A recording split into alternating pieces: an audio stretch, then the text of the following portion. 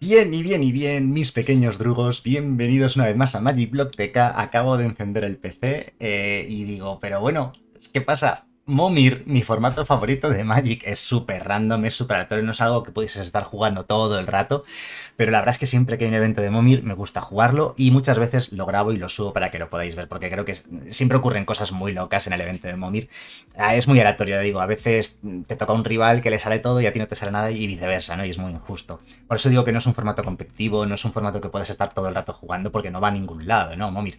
Pero es muy, muy divertido y sobre todo es eh, llamativo, ¿no? O sea, es muy creativo. Bueno, creativo no. Creativo no es la palabra adecuada, ¿no? Pero es muy sorprendente, ¿no? Y me gusta, me gusta esta variedad de vez en cuando. Bueno, y tenéis el texto de lo que. de cómo funciona Momir, porque lo hemos jugado aquí ya muchas veces en el canal. Si no lo conocéis, leedlo ahí.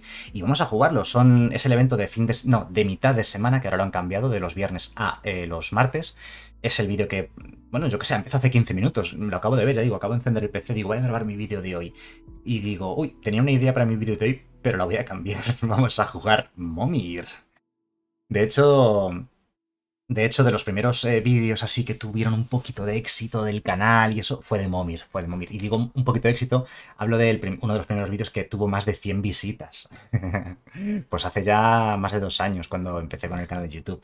Bueno, eh, yo salgo, ¿vale? Salimos nosotros en esta partida. No recomiendo jugar criatura en los dos primeros turnos. Es empezar el tercero, yo creo, sobre todo saliendo. Si no sales, se puede empezar en el segundo turno. Es para que consigas llegar a los costes 9. De hecho, las cartas que hay incluidas en este Momir, no sé cuáles son. Porque en cada Momir eh, meten un número de criaturas, meten unas criaturas indeterminadas. No sé si es solamente de estándar, de histórico, no lo he leído, la verdad. Me he puesto a jugar sin leerlo. En cuanto... Uy, eso es mal comienzo. Mal comienzo porque fijaos lo que le ha salido. Le ha salido un bicho yo no voy a jugar nada este turno tampoco. Me salido un bicho que, solamente, es un 0-1, solo crece cuando lanza instantáneos o conjuros, y en este formato no hay instantáneos ni conjuros porque tu mazo tiene solo 60 tierras. Y con el emblema de Momir puedes poner criaturas aleatorias en juego, nada más. Nunca va a ser más allá de un 0-1. No, no conviene empezar en el primer turno. Ahora ha salido un 2-2, vale, ya está claro, es de histórico. Lo decía porque no sé qué criaturas hay de coste 9 ahora mismo en estándar, si es que hay alguna. Pero como es histórico, porque esta carta es de histórico, no es de estándar, al ser histórico seguro que han metido criaturas de coste 9 e incluso más, ¿no? Ahora venga ya sí, primer turno, que vamos a meter criatura en mesa, coste 3, creo que es un buen momento para empezar. Lo estoy medio tapando, ahora que me doy cuenta. Lo voy a un poquito más pequeño yo. Nos descartamos una carta que ya hayamos jugado una isla. Me gusta tener al menos en mesa una tierra básica. ¡Ey! No está mal, el 4-3 arroya. Em, me gusta al menos tener una tierra básica de cada tipo, porque a veces las criaturas tienen habilidades activadas que puedes pagar. Uh, claro, dominio, espérate, esto es un 5-5. Y siempre que ataque, descarta una carta, roba carta, lo cual no es muy útil en Momir, porque solo vas a descartar y robar tierras. Y eh, la otra opción, exile una carta en un cementerio. Vale, sus habilidades no hacen nada relevante, pero esto va a ser 4-4 al siguiente y va a ser 5-5 al siguiente turno. Nos conviene quizás incluso bloquear ya y matarlo si ataca, ¿no? Le ha salido muy mal, ¿eh? Un coste 3 también muy malo, porque este bicho muta. Y como no va a poder mutar nunca, porque solamente se puede mutar desde la mano, o lanzando el hechizo, vamos, básicamente. Desde la mano o desde cualquier otro sitio, pero lanzándolo, ¿no? Se ataca bloqueo. Me lo quito ya en medio antes de que esto sea un 5-5 y sea más grande que mi, que mi 4-3 que arrolle. ¿Qué otra cosa, otro tip que os iba a decir de este formato? Empezar en el turno 3 es lo ideal, sobre todo si sales. Si no sales, se puede empezar en el segundo turno. Así jugar una tierra básica de cada para poder activar todas las habilidades.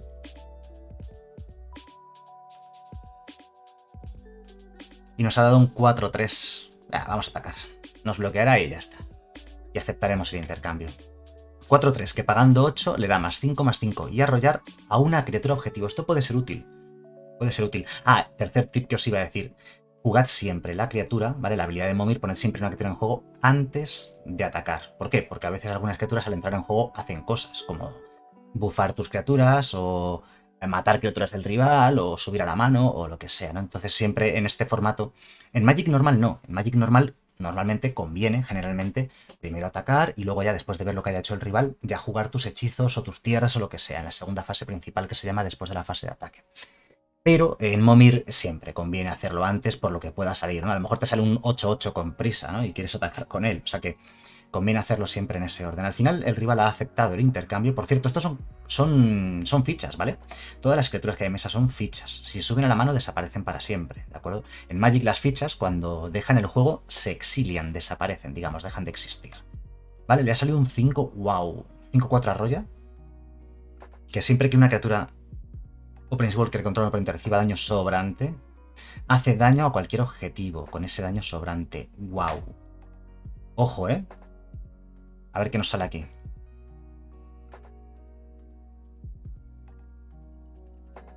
Un 5-5, que es más grande, bueno, es al menos tan grande como su 5-4, que no puede bloquear.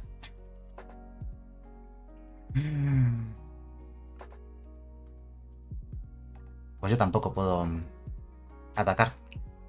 Porque tengo que bloquear a su 5-4, este tiene que morir, ¿vale? Su habilidad es demasiado buena. Además sirve con cualquier criatura mía. Si reciben daño sobrante, ese daño sobrante lo hace además a cualquier objetivo. Vale, o sea, como arrolla, aquí nos pasarían dos daños, ¿eh? Ojo, nos pasarían dos daños que podría hacernos a nosotros, adicionales al arrollar. También podríamos no bloquear directamente, pero creo que sería un poco arriesgado. A ver su coste 5 cuál es. O sea, el rival lo ha hecho fatal, ¿vale? Porque ha tirado a la basura su primer turno, ha tirado a la basura su tercer turno, su segundo turno ha sido, le ha salido bien, pero bueno. Pero ha tenido mucha suerte porque de coste 4 le ha salido una mítica, de coste 5 le ha salido otra mítica. Y a nosotros, bueno, esto es una rara, pero es una rara muy mala, ¿no? Un 5-5 que no puede bloquear, esto no vale para nada prácticamente. De hecho, ¿qué hago contra su 6-6? Es que esto no vale para nada. Vaya desastre.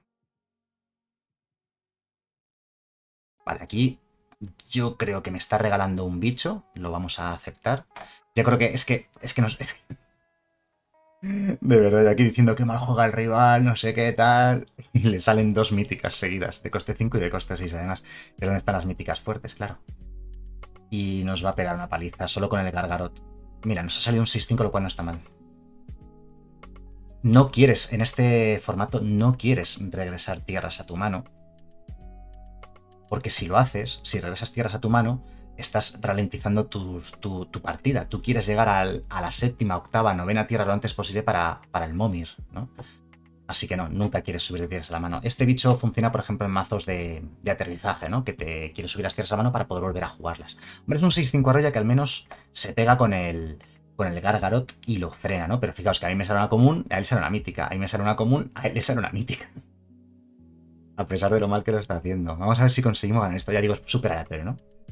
Os doy los tips, pues los estoy comentando, ¿vale? Simplemente no juguéis primer, segundo turno nunca. Salvo que no salgáis vosotros, a veces de segundo turno merece la pena. Aquí tenido mala suerte. Le da menos 2, menos 2 a una criatura nuestra. Uf. Lo cual le da vía libre para hacer este ataque. Uf, y poner un 3-3 en mesa. O sea, es un 3-2, ¿vale? Que esta criatura es mala una vez que está en mesa, pero su habilidad ha provocado que no podamos bloquear al Gargarot. Vamos a bloquear aquí. Y estamos muy mal realmente. Nos quedamos en 7. Es que este no puede bloquear. Es que hemos tenido una suerte horrenda, ¿eh? Vale, tenemos ya 7 de maná. Ya nos puede salir algo muy bueno, porque si no nos vamos al hoyo. Venga, coste 7. Dame algo muy bueno, por favor, Magic. Magic Arena. Un 5-5 vuela antimaleficio contra monocolor que no sirve de nada en este formato. Debería... No puedo atacar con el 5-5 porque me lo bloquea con el 6-6 y ya está. Tenemos que bloquear aquí y aquí. Y aún así nos pasan 3 seguros si atacase con todo. Vale, toquemos madera, porque ahora él llega ya a coste 7. En coste 7 le puede salir un monstruo con prisa enorme, yo qué sé. O que, algo que nos mate una criatura, nos la suba a la mano y se acabó la partida. Este bicho, a ver, no es tan malo porque hace que el rival no pueda hacerle objetivo con hechizos o habilidades, pero es que no hay hechizos habilidades en este, en este formato. No, sé por qué ataca con el 3-2. Este ataque no tiene sentido. Este ataque es perder un bicho gratis, no sé por qué. O sea, no tiene sentido. ¿Se ha equivocado o qué? Se ha equivocado, yo creo. Ha cometido un fallo que puede ayudarnos a remontar esta partida.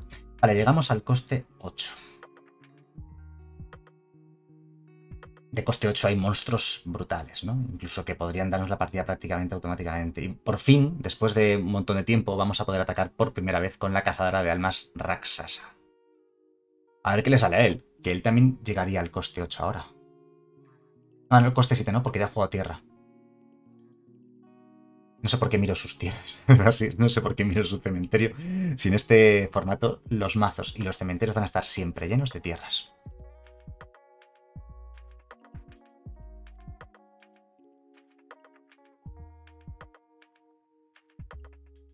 Venga ya. O sea, menos mal, es un 6-6 que cruza pantanos. Hemos perdido. Venga, ya no me lo puedo creer. Pero ¿cómo se puede tener tanta suerte? Es que le ha vuelto a salir otra mítica. Madre mía. No, 7 no, perdón, 8. Está pantanos. Es decir, por tener pantanos en mesa, no podemos bloquear.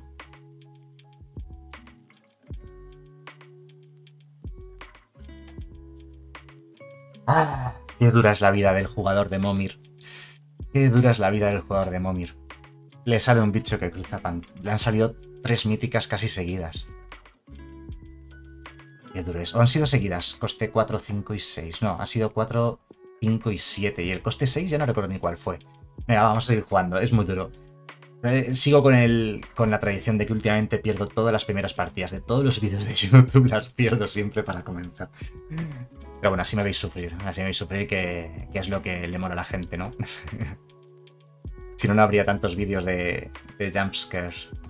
Vale, eh, volvemos a salir nosotros. Vamos a aprovecharlo. Voy a jugar un pantano, aún a riesgo de que juegue criaturas con cruzar pantanos.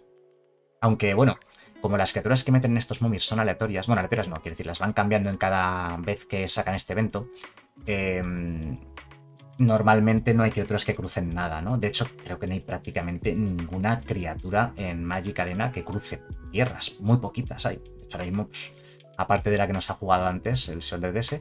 Bueno, si nos salen más felinos o en esta partida y al rival le salen perros, nos vamos a reír. O si le salen artefactos o encantamientos, también vamos a hacer cositas. No está mal, no está mal. O sea, el gato no es que sea buenísimo, pero bueno, ¿Os imagináis que nos sale ahora un metamorfo, un gato? ¿Qué ha salido aquí? ¿Qué es esto? Es que me salen cartas malísimas, ¿eh? Por 4 es un 3-4, que mientras que el oponente tenga 8 o más cartas en su cementerio, obtiene más 1 más 0 y amenaza. Es un 3-4. No va a llegar a 8 cartas en el cementerio como mínimo hasta el turno 11 o 12. Porque esta es la primera carta que se descarta. Y ha puesto en mesa... Venga, hombre. Un 4-4 vuela roya que encima le da más uno más uno a los dos humanos y que otra mítica. ¿Qué está pasando? ¿Pero qué timo es este? No me lo puedo creer. Mira, grabo estos vídeos para que os riáis de mí y con razón. Bueno, un 5-4 que vuela, no está mal. No podemos atacar a su 4-4 vuela, roya, que arre, más uno más uno a los otros humanos. Ahora le empezarán a salir humanos, ya verás. Coste 5, otra mítica, un humano mítico. ¿Hay algún humano mítico? Sí. El.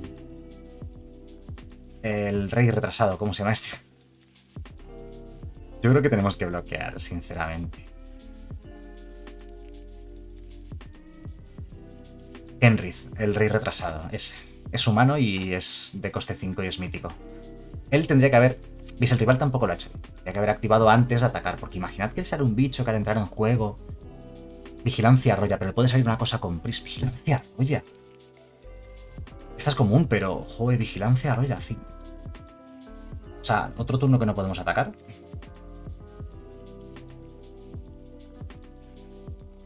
Venga, dame algo bueno, por favor. Vaya, un 5-4 que vuela. Algo es algo, no está mal. Obviamente no podemos atacar. Como son tan malas estas dos, quizás nos merece la pena hacer el doble block al protege sendas de Tajuro. Es que pensad que tiene vigilancia. No podemos atacar mientras esté en mesa. Y él no nos mata a los dos bichos. Creo que lo más inteligente es un doble bloque. Al 5-4 arroya. Vale, ahora sí lo ha hecho antes, como tiene que ser. 1-3, fabricar 3. Y además, que siempre un artefacto vaya a un cementerio desde el campo de batalla, pierde vidas igual a la fuerza de la maestra titiritera. Vale, le ha puesto los tres contadores a sí misma. Que son siempre sobre ella. O tres tokens 1-1 voladores. No sé qué habría sido peor. Ay, creo que tenemos que bloquear, sinceramente. Solamente se muere uno de los dos bichos. Ninguno de los dos es una locura. Siguiente turno yo creo que nos tendremos que quedar bloqueando. Esta al final, estas partidas se deciden mucho por pura aleatoriedad, como estábamos comentando. vamos a por el 7. Dame algo bueno, papá. Ahí está, a ver. Vale, un 6-6 vuela. Que muere 10 cartas. Oh, qué lástima que nos haya matado el bicho ese antes que crecía. Ahora sí podemos atacar, sí. Ya tenemos un 6-6 que vuela. Le hemos molido 10... Hola, por 7 es un 6-6, vuela, que muele 10 cartas al rival cuando entra en juego. Qué pena porque teníamos el otro bicho que crecía, más uno más cero y amenaza, cuando tenía 8 cartas en el cementerio. Bueno, ya estoy un poco más tranquilo, pero no os preocupéis, porque ahora él, turno 7, los otros dinosaurios más uno más uno, y pagando 6 crea 3 3 No suele merecer la pena. Vale, pues llegamos a 8 nosotros.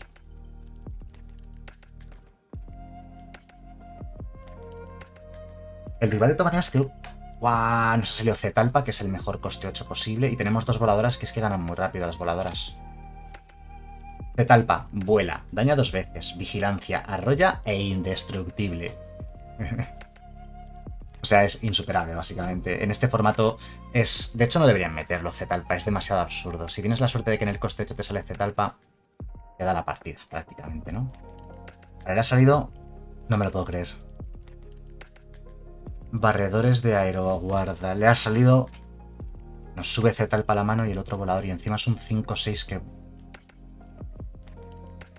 Pero ¿cómo es posible?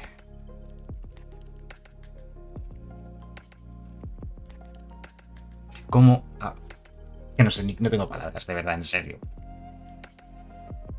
O sea, que sí que hay respuesta a Z si te sale unos barredores de agua de estos. Hombre, no está mal. El Borinclex, la voz del ansia. No podemos atacar porque tiene un 5-6 vuela, así que no atacamos. Y a ver, lea. 7-6 arrolla. Y siempre que una tira... Es decir, tenemos mana infinito. O sea, tenemos 16 de mana. No sé si criaturas de coste 9 o 10. Uf, es que no sé qué hay. Ay, sus tierras no se enderezan. Vale, hemos tenido bastante suerte con este Borinclex. Si usas sus tierras, siguiente turno nos enderezan. Y las otras dan el doble de mana. El problema es que no sé cómo de grande es la criatura más grande que hay en este formato. No sé por qué ha girado como manualmente. Las, las tiras las ha girado como manualmente. Bueno, es de 8, ¿no? Y pone un bilis especulador de sangre. 8-8, bueno. No sé si hay algo de coste 10 en este formato. Estamos en problemas, ¿eh? Nos quedan 15 de vida, tiene un volador que es más grande que el nuestro y ahora tiene dos, de hecho tiene dos, ahora tiene dos voladores. Y puede activar incluso la habilidad de Bilis. Bueno, vamos a hacerlo de... Es que no sé qué criaturas hay. Voy a hacerlo de 9, ¿vale? Pero no estoy muy seguro.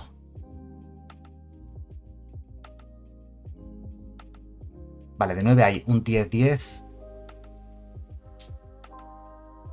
Que le va a hacer sacrificar criaturas.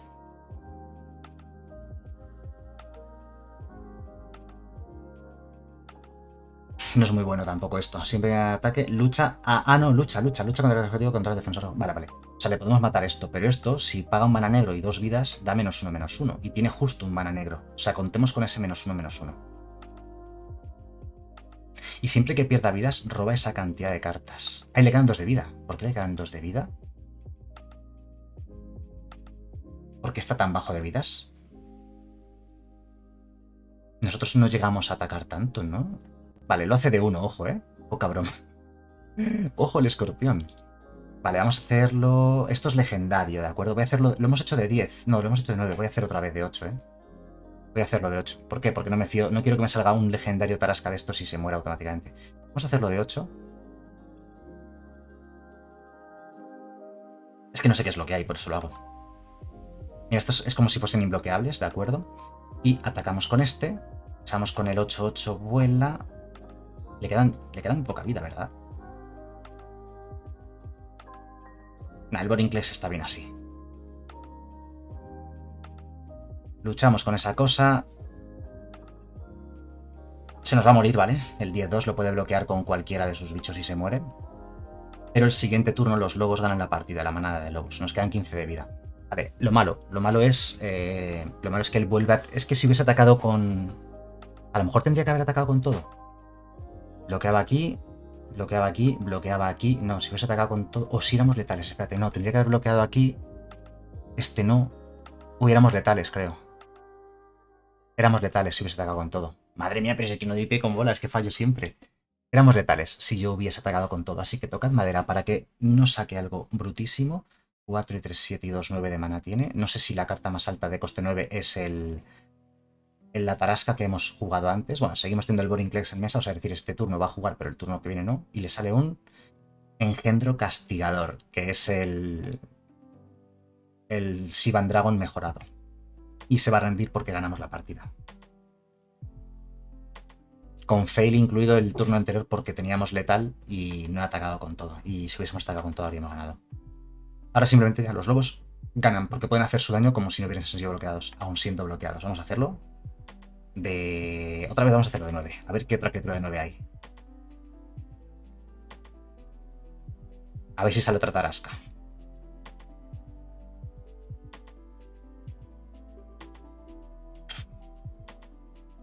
Qué mala. Por 9 de mana un 3-4 vuela. Ya está, punto. Tiene afinidad por artefactos. O sea, si tienes artefactos se puede jugar más barata.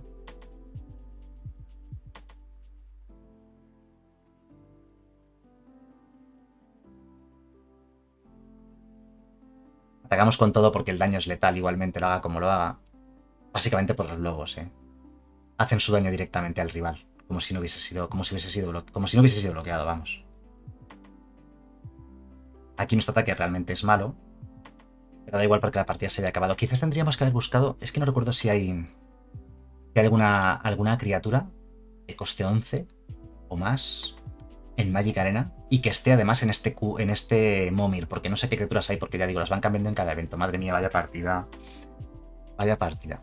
Hemos tenido no tampoco una suerte loquísima. Vamos a jugar una partida más. A ver si nos toca la partida en la que tengamos suerte loca, esas de que te salen todas las criaturas míticas del formato. Vamos a ello. No, he visto el premio. He clicado muy rápido y no nos lo ha sacado. No sé qué premio me han dado. Pero vamos, dan una rara por cada victoria. Hasta dos victorias en estos eventos de, entre semana. Puedes jugar todas las veces que quieras, pero solamente te llevas dos raras de premio como máximo. Que bueno, puedes tener suerte y que salgan míticas. Lo más probable es que me salgan como tengo ya cuatro copias casi de todas las raras y míticas del juego, pues que me salgan 20 gemas si es rara o 40 gemas si es mítica y ya está. Vale, eh, las dos primeras partidas hemos salido nosotros. En esta sale nuestro rival vamos a ver si eso se nota mucho o no. No voy a empezar de segundo turno, vamos a empezar en el tercer turno. Como os he comentado antes, es lo mejor esperar. Aunque también depende a veces del Momir en cuestión. Hay algunos Momir que tienen criaturas buenas de segundo turno. Y si no sales tú, merece la pena empezar a meter presión o tener ya presencia en mesa de alguna manera. Fijaos que el rival ni siquiera en el tercer turno ha querido hacerlo, un poco por como el de antes. Yo os diría, si es que al final es tan aleatorio, pero yo empezaría siempre en el tercer turno. No está mal, 3-3 vuela daña primero, por 3. Es cierto que la habilidad de mutar pues, es inútil para, esta, para este formato, pero bueno, 3-3 vuela daña primero por 3 de mana. Está por encima de la media, yo creo. Además es, mítica esta, es mítica, es mítica. Estaba yo ahí pidiendo míticas y me han dado una mítica de tercer turno. Las míticas buenas no son las de tercer turno, son las de sexto, séptimo, octavo turno, lógicamente. Vale, él ya empieza con el coste 4 y le sale un 2-5 sin habilidades. Uh, mala suerte. Vamos al coste 4. Venga, dame otra mítica, una voladora o algo así. Las voladoras, como veis, son muy importantes. 2-3. Siempre que robes carta obtiene más 2 más 2 hasta el final del turno. O sea, es un 4-5. Porque todos los turnos voy a robar carta. El problema es que tiene un 2-5. O sea, este bicho se anula con este. Básicamente es como no tener nada. Ni él ni yo. Su cuarto turno ha sido malo y nuestro cuarto turno también un 4-5 por 4. No podemos robar más de una carta por turno, salvo que nos salga alguna criatura que nos permita robar cartas. 5-3 arrolla y le da arrollar al resto. Vale, como decía, si aquí la clave es jugar antes, a ver si, imaginad que no será una criatura que nos permite robar tres cartas o algo así. Y esto se convierte en un monstruo gigante.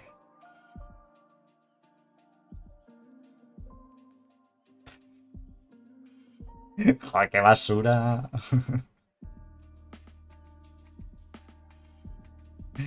¡Qué basura! Dios, esto sí que es malo. Por 5, un 2, 3 que no hace nada. A lo mejor en otros formatos hace cosas. En este no hace nada.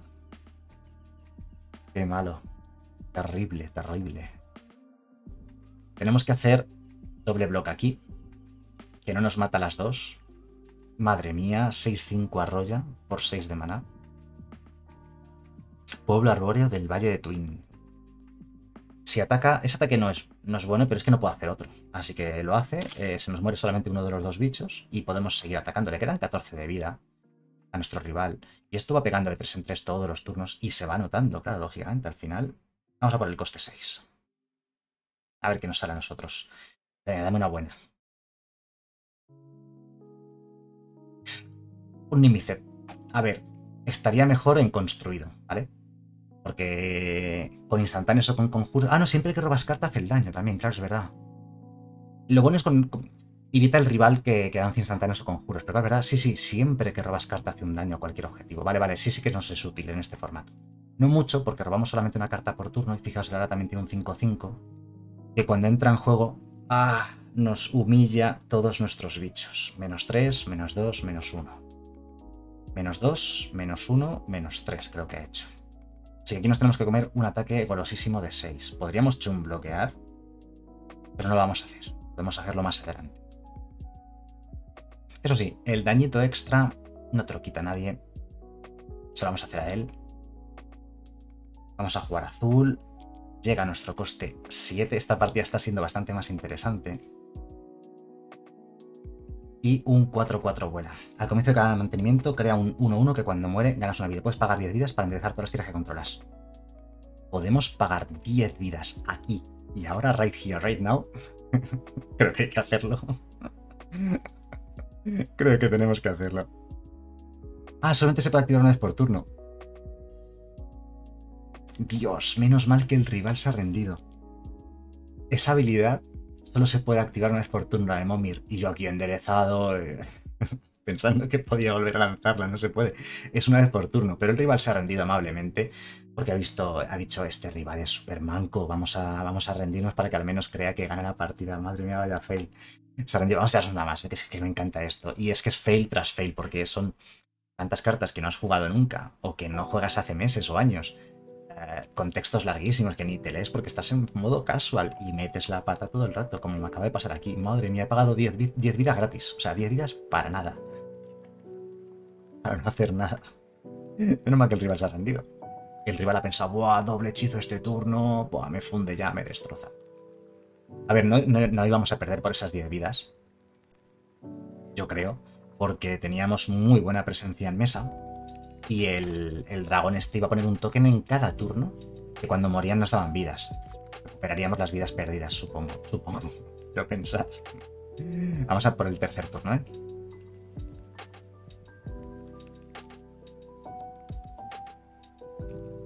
Si sales tú, en el, si empiezas en el tercer turno saliendo, al máximo que llegas de coste es coste 8. Y si no, coste 9. Mm, esto es muy bueno porque da maná es muy bueno. Cualquier bicho que dé maná es muy bueno. Le permiten un turno por delante y aquí se nota muchísimo el ir un turno por delante. ¡Hola! Alcaide de la feria, qué suerte hemos tenido. Para entrar en juego que sería que otro objetivo de oponente. A ver, sinceramente preferiría haberle exiliado un 8-8, vuela, ahorro ya, daña primero o lo que sea, ¿no? Pero, mira, tampoco está mal. Le hemos matado el acelerador que estaba yo diciendo precisamente que era muy bueno. Y ya no vuelve, ¿vale? Aunque el alcaide se vaya de juego, ya no vuelve. 3-3 vigilancia. Cuando entra en juego, da vigilancia al resto de sus criaturas que no tenía. Vale, perfecto. Y lo malo tenemos un 1-3 que no hace nada, pero bueno, ya ha hecho su trabajo, ya ha hecho el 2x1. Venga, nuestro turno 4 es... Eh, no está mal, no está mal, es un 2x1 también. Son 2x1 muy modestos estos que hemos eh, puesto en mesa. Tanto este como este. Son 2x1 y eso se va notando. Aunque esto se va a decidir cuando lleguemos al coste 6, 7, 8, como habéis visto ya antes, ¿no? Me encanta este formato. No, lucha. Bueno, al menos es luchar. No, pero nos mata esta. ¿Veis? Aquí también acaba de hacernos un 2 por 1 con el ciervo. No es la gran cosa, es un 4-3. Decide inter... ¿Cómo? ¿No es luchar? Ah, sí, sí es luchar. Pensaba que no recibía daños su criatura. Sí, lo recibe, sí. Bueno, pues su 3-3 vigilancia de momento este primer turno pasa libremente, como el viento. Venga, nuestro coste 5 va a ser un Kenrith, un... Hola. Otro 5 vigilancia, es como el suyo, pero más grande. Exilia criaturas que no sean ficha. En este formato todas las criaturas son siempre ficha. Así que... No exilia nada. Bueno, pues nuestro coste 5 es mediocre, un 4-5 vigilancia en comparación con 6-6 vuela o cosas así que pueden salir. En el coste 5 te posee un Gargarot que nos salió en la primera partida del rival que nos ganó con eso. 3-3 vuela vigilancia, ¿eh? ¿Es el día de las vigilancias hoy o qué? Vamos a nuestro coste 6.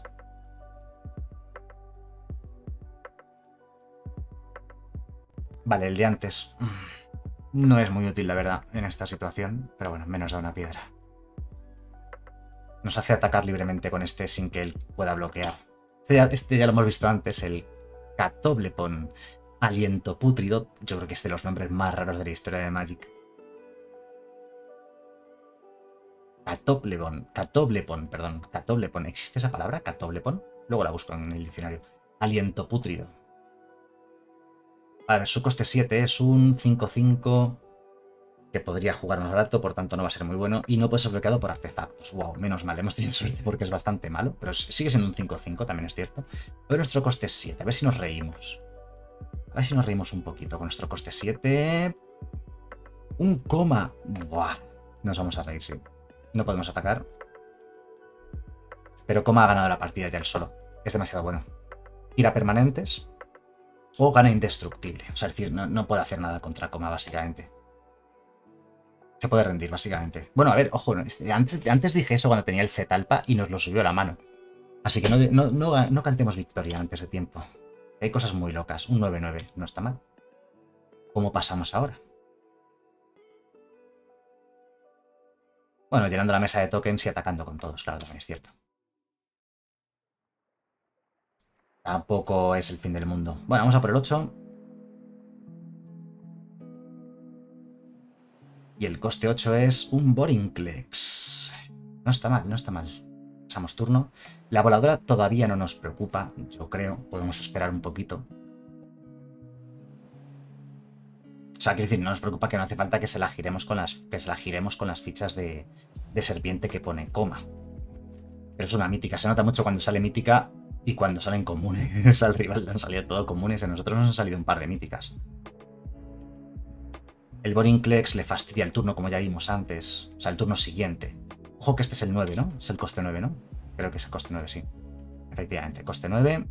A ver qué es lo que entra en mesa. Otro 9-9. Ah, no, lo he hecho de 8. 4-8, vale, sí, cierto, cierto.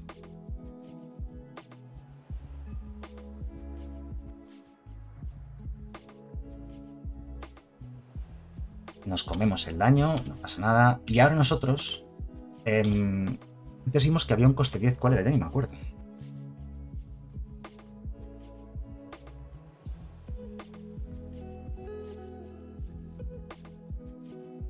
¿Coste 10 hicimos o fue coste 9? Voy a hacer un coste 9 que estoy seguro de que hay costes 9. Y si el, y el turno... A ver, ¿qué es 9-9? Siempre que ataque, sacrifícala a menos que sacrifiques una isla. ¿Pero qué basura es esta? ¿Por qué a mí? Mira, pues no atacamos. Como ponemos dos tokens por turno, no estoy muy preocupado, sinceramente. Le quedan 16 de vida, lo que de hecho podemos hacer es girar los 5 bichos que tiene y atacar con todo lo demás y ganamos, de hecho. De hecho, le voy a girar... Le voy a girar el 3-3 que vuela. Y de hecho le vamos a girar todo, ¿no? Y tenemos daño letal. Injusto, ¿verdad? no, es que hago clic muy rápido. Primero, gira. ¿Se ha dado cuenta? Le girábamos las cuatro criaturas sacrificando cuatro sierpes, atacábamos con todo lo demás y pegábamos de más de 16. Bueno, pues nada, ya veis lo que es Momir, muy divertido, me encanta este formato. Y nada más, pues no me enrollo más con esto. Espero que el vídeo os haya gustado, nos vemos en el siguiente. Hasta luego.